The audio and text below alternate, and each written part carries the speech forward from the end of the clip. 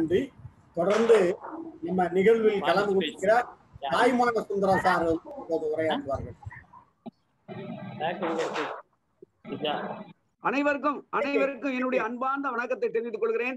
இந்த பெருந்தொற்று காலத்துல எப்படி நம்ம மாபெரும் மனிதருடைய மாமனிதர் நம்ம மகாராஜானுடைய நினைவேந்தல் முதலாம் ஆண்டு நினைவேந்தல் நிகழ்வு எப்படி நடக்குமோ என்று நான் ஏங்கிக்கிட்டு இருக்கும்போது நேத்து தான் நம்ம கனவு சுப்பிரமணியம் சொன்னேன். அதே மாதிரி அவர் உடனே இவ்வளவு சிறப்பா ஏற்பாடு பண்ணி என்னுடைய நன்றியை மனமார்ந்த அன்னை தெரிவித்துக் கொள்கிறேன் நல்லையாயிட்டு நான் நேத்து தான் சொன்னேன். மஞ்சுநாத் சார்ட்டி நேத்து தான் சொன்னேன். வசந்தி ராணிட்டி நேத்து தான் சொன்னேன். ஆனா எல்லாரும் வந்து அதை கலந்துக்கிட்டு எனக்கு ரொம்ப மகிழ்ச்சி. அதாவது நான் பேச ரொம்ப விரும்பல. எல்லாரும் பேசுறத கேட்கறது தான் எனக்கு ரொம்ப மகிழ்ச்சி. ஆனாலும் நம்ம ராஜாட்ட அவ்வளவு பேரும் அதாவது ராஜா வந்து எந்த விதமான இறைவன் மாதிரி எல்லாத்திட்டையும் ஒரே மாதிரி அன்பு செலுத்தக்கூடிய ஒரு இது உள்ள நல் பண்பு உள்ளவர் நம்முடைய ராஜா. பெரிய ஆளு சின்ன ஆளு பணக்காரன் ஏழை படித்தவன் பாமரன். எந்த மாதிரி எந்த வாறுபாடும் கிடையாது. எல்லாத்துக்கும் ஒரு உண்மையான அன்பு செலுத்தக்கூடிய ஒரு மாமனிதர் அவர். அதனாலதான் நான் கடவுள் சுப்பிரமணியம் போன்ற நீங்க மாதிரி ஒரு சாமானியர்கள் ராஜாட்ட நெருக்க முடிஞ்சது. நெல்லை மாவட்டத்துல தெரியும். வீரம் சேர்ந்த நெல்லை மாவட்டத்துல ஜமீன்தார்கள் பயமா இருக்கும் பாக்குறதுக்கு. நல்லா முத முதல்ல ராஜாவை பார்க்கும்போது ஜமீன்தார்னால சின்ன பிள்ளையில பயமா இருக்கும். பார்த்தா அவருக்கு செலுத்தின அன்பு ஆயிரத்தி தொள்ளாயிரத்தி எண்பத்தி ஆறுல ராஜாவை நான் சந்திச்சேன் எண்பத்தாறுல இருந்து அந்த சொரிமுத்தன் கோயில் போயிட்டு இருக்கேன் ராஜா இறக்குற அந்த வருஷம் வரை நான் போயிருக்கேன் தொடர்ந்து முப்பத்தாறு வருடம் நான் வந்து என- அப்ப அவன் எந்த அளவு ஒரு எனக்கு அவர் ராஜா வந்து என் மேல ஒரு அன்பு செலுத்தியிருந்தா அப்படி ஒரு வாய்ப்பு எனக்கு கிடைக்கப்பட்டிருக்கும் எல்லாருக்கும் ராஜா மேல அன்பு செலுத்த நான் பார்த்திருக்கேன் ஆனா குறிப்பா நான் சொல்லணும்னா குரல் கொஞ்சம் விட்டு விட்டு கேக்குது நல்லி குப்புசாமி செட்டி ஐயா அடுத்தல மஞ்சுநாத் நம்ம வசந்தி ராணி. இவங்கெல்லாம் ராஜாட்ட செலுத்தின அன்பு அவங்கள பேணி பாதுகாத்து பாராட்டி போற்றி அவங்களுக்கு கொடுத்த மரியாதையெல்லாம் நினைச்சு பார்க்க முடியாது. எனக்கு தெரியும் அந்த அளவு அவங்க அப்படி இருந்திருக்காங்க. ராஜா வந்து அதாவது க- பரஞானம் அபரஞானம்னு அவரே சொல்லுவார். கல்வி கற்று வரக்கூடிய ஞானம் அப்புறம் ஸ்பேஸ் இறைவன்கிட்ட இருந்தே கிடைக்கக்கூடிய ஞானம் இந்த ரெண்டு ஞானமும் நிறைய பெற்றவர்.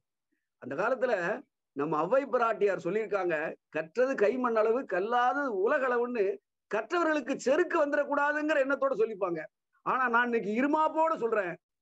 நம்முடைய மன்னர் ராஜா சிங்கம்பட்டி ராஜா அவர்கள் கற்றது உலக அளவு கல்லாதது கையளவு என்று நான் கூறுவேன். அந்த அளவுக்கு அவருடைய அறிவாற்றல் எல்லாருக்கும் தெரியும். அவ்வளவு என்ன மாதிரி அவர் வாழ்ந்த வாழ்க்கை வந்து ஒரு அரசர் எப்பேற்பட்ட சொத்துக்கு சொந்தக்காரன்னு தெரியும். இமயமலைக்கு ஈடான தென்பொதிகைக்கு சொந்தக்காரர். ஊற்றெடுத்து வருகிற தாமிரவர்ணிக்கு சொந்தக்காரர். பாய்ந்து ஒரு பெரிய வேகத்தோடு பாய்ந்த பானதீர்க்கத்துக்கு அதிபதி. மாஞ்சோலை மாங்குயில் குவிடும் மாஞ்சோலைக்கு அதிபதி.